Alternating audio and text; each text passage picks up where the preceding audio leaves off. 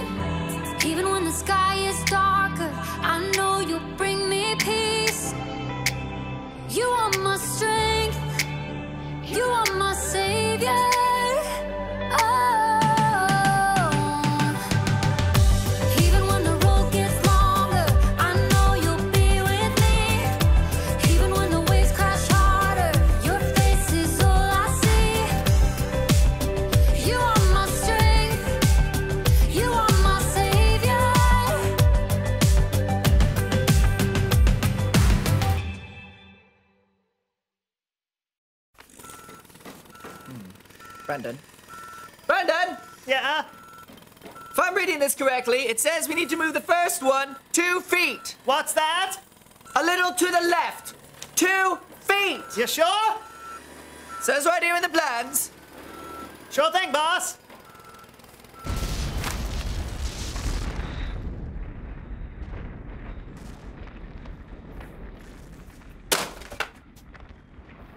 You sure you're reading that right? I mean, it might be upside down. What are those? Blueprints.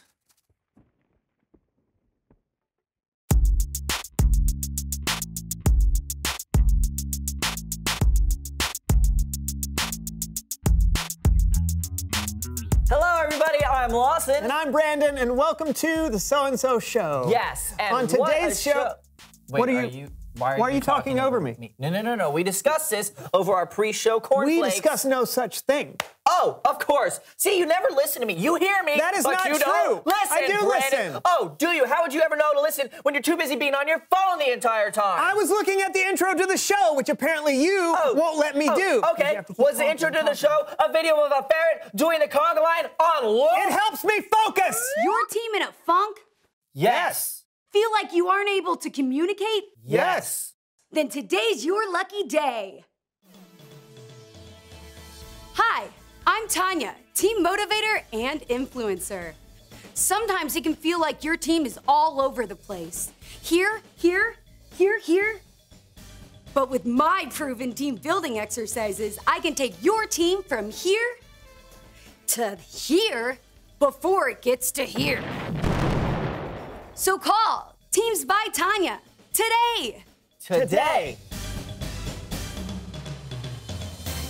So it's just me and Brandon, and we are having trouble being a team. He's having trouble being a team. What do you mean I'm having trouble? There's no me in team, Brandon. Yes, there is. There's an M and an E. There's a me in team. There's no I in team. That's the saying. Gentlemen, it seems we're having trouble communicating. Yes. Brandon, turn towards Lawson. Lawson, turn towards Brandon.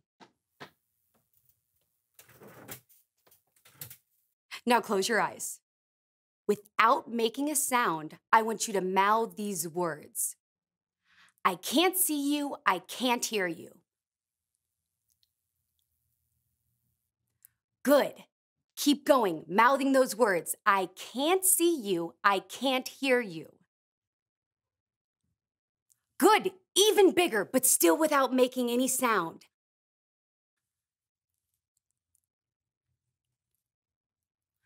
Good. Good. Yes. Bigger. Bigger. Good. I can't see you. I can't hear you. Now stop. Open your eyes. Look at each other. Good. Now close your eyes again. Okay. I want you to slowly open your eyes. Very small. Barely open your eyes. Whisper these words, Brandon, to Lawson. I see you and I hear you. I see you and I hear you. Even quieter. I see you and I hear you. Good. Lawson? I see you and I hear you. Good. Keep repeating that. And each time, I want you to open your eyes a little bit wider and get a little bit louder. I see you and I hear you. I see you and I hear you. Good. Keep building that. I see you and I hear you. I see you and I hear you. I see you and I hear you. I see you and I hear you. Louder! Tell them! I see you and I hear you. I see you and I hear you. Yes, louder! I see you and I hear you. I see you and I hear you. I see you and I hear you. I see you and I hear you.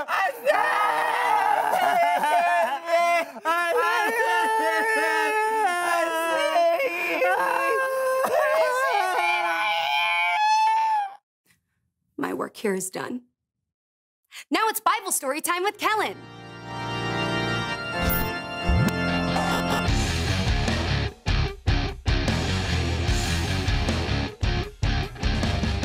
Hey, gents. Kellen, Yes. I see you and I hear you. okay. Thanks. Back at you. Do you have a Bible story for us today? Absolutely. And here to help me tell it are the So and So Show players. Ah, yeah.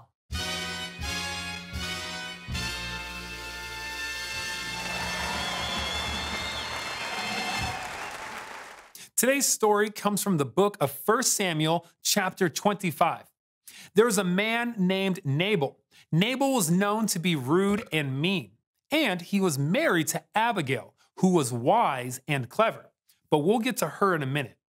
Now, Nabal was very wealthy. He had 1,000 goats and 3,000 sheep. And it was time for Nabal to shear his sheep and sell the wool. There's another character in today's story. His name is David. You might remember David as the shepherd boy who slayed a giant and then became king. This is that same David. But in our story, he hasn't become king yet. David was staying with his men in the desert when he heard that Nabal was shearing his sheep. Francis! Oh. Yes, David. I want you to go to Nabal, and I want you to greet him kindly for me. And then I want you to remind him of how well we treated his men when they were with us. And lastly, I want you to ask him. Ask him if there's anything he can share with me and the other men. Go! Yes, yes, sir.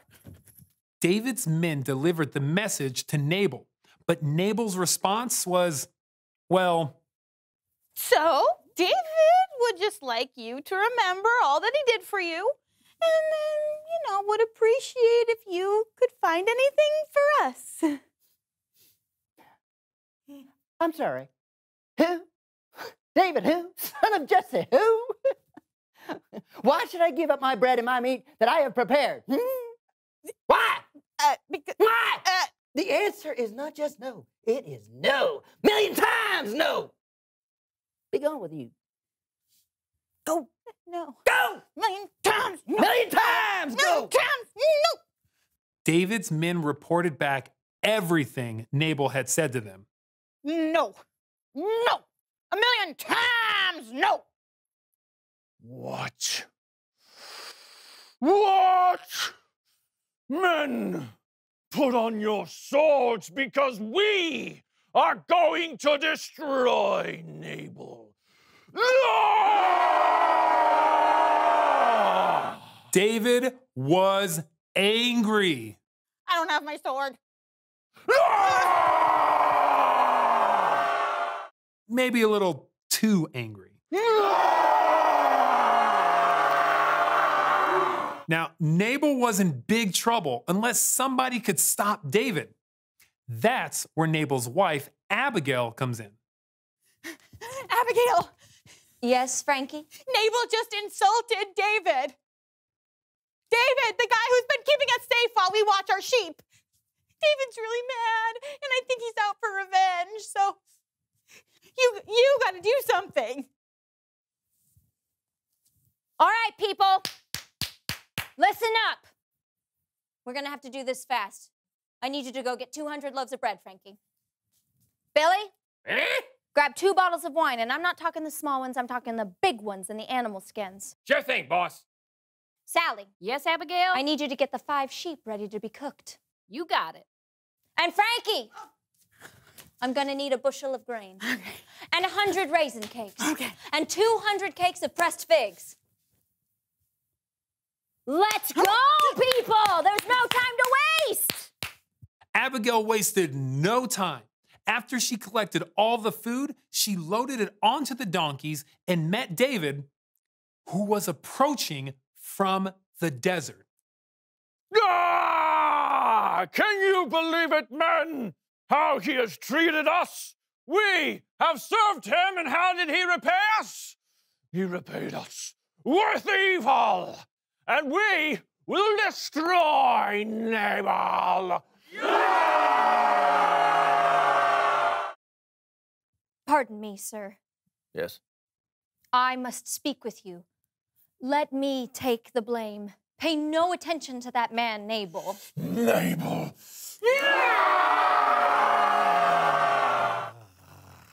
He's really not worth getting that worked up over. Who? Nabal. No. No. Eyes, right here. His name means what? his name means fool. yes. he does many foolish things. Oh, yeah. Yes. Nabal. So you don't need to kill Nabal, do you? Yeah! No. No. No. No. No. You see, God has prevented you from killing Nabal and his men. And I have brought many gifts for you to have. Ah.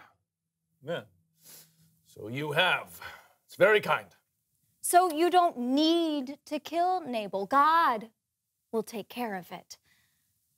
He's hmm. going to appoint you king over all of Israel, and you don't want to have to worry about how you killed Nabal and didn't have to, right? Oh, yeah, you make a lot of sense. Thank you. I just ask that when you're king, you remember me. All right. All right. Go, go. You may go in peace. I have heard what you have come here to say, and I will do as you have asked. Goodbye. So Abigail returned home and David stayed put.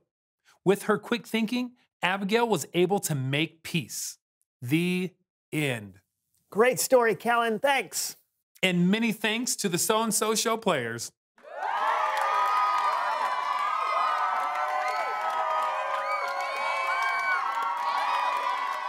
Okay, okay, th- that wasn't terrible. Yeah, Abigail was incredible. Uh, to be able to soften a situation like that took a lot of courage from mm-hmm. Abigail. Yeah, David was so angry he could kill. But God used Abigail. After talking to her, David walked away from a fight and didn't make a huge mistake he probably would have regretted. Making peace isn't easy, is it? Not at all.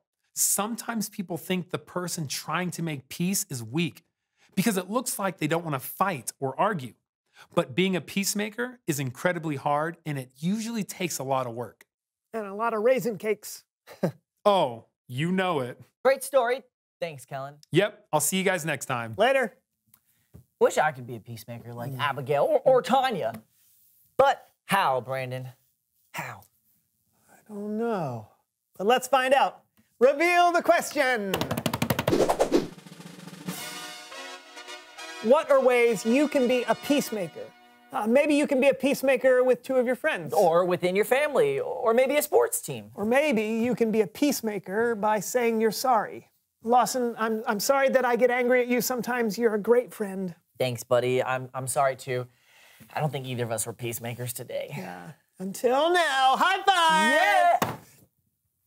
That was close enough. All right, that was we'll get- close enough. yeah. There are lots of ways you can be a peacemaker. Talk about it with each other, and we'll see you next time on the So and So So-and-so Show. I can't see you. Good. Oh, I can't hear you! I can't see you. What did you say, Brandon? I can't see you. Tanya! I can't see. Are my hands still over my ears? I can't see you. Why are my eyes closed? I can't see you. I can't hear you.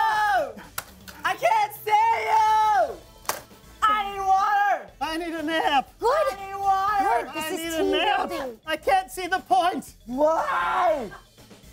Good work, Tanya. Yeah, Yeah. I, I do that.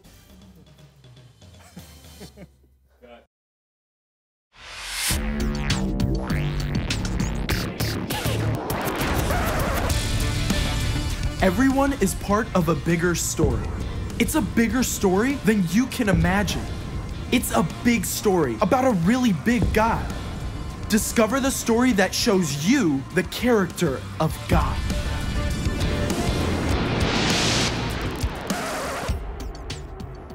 Hey guys, I'm Caleb, and I'm inviting you on a grand journey into my Bible. Stroll down the aisles of this library and you'll find 66 separate books. These are God's words, written down by people who followed him over hundreds of years. I'm done. every book, every chapter, every verse is like a puzzle piece. They all fit together to form the incredible story of how God created us and how we turned our backs on him. Instead of leaving us on our own, though, God carried out the greatest rescue plan ever. He made a way for us to be with Him forever, no matter what we've done. He made peace with us. And I have four stories right here to show what peace can look like. We start off with the entire Bible. Not even kidding. But we get the highlights right here in Colossians 1. God was pleased to bring all things back to himself. That's because of what Christ has done. God made peace through Christ's blood by his death on the cross. True peace begins and ends with God. Now we're heading two chapters over for the next step. Here, the Apostle Paul explains that because God made peace with us, you've got a mission, should you choose to accept it. Let the peace that Christ gives rule in your hearts. As parts of one body, you were appointed to live in peace and be thankful. God made peace with us so we can make peace with others. Now let's head back to Genesis to take a different look at peace. God has blessed Isaac with a good crop and large flocks and herds, but the nearby Philistines feel threatened. They're so fearful, they fill up Isaac's wells with dirt. That leaves Isaac with a tough choice fling mud back in their faces or refuse to play dirty and walk away. Let's wrap up in the book of 1 Samuel. Here, David and his men have been protecting the flocks of a rich man named Nabal. But when David asks if they can share in the sheep shearing feast, Nabal just sneers. David is ready to flip his lid. He marches out with 400 men to face Nabal. That's when Nabal's wife, Abigail, hears what's going on. She comes up with her own peace offering, and it's pretty sweet.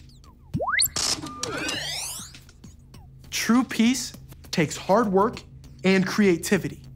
It takes proving you care more about others than about winning.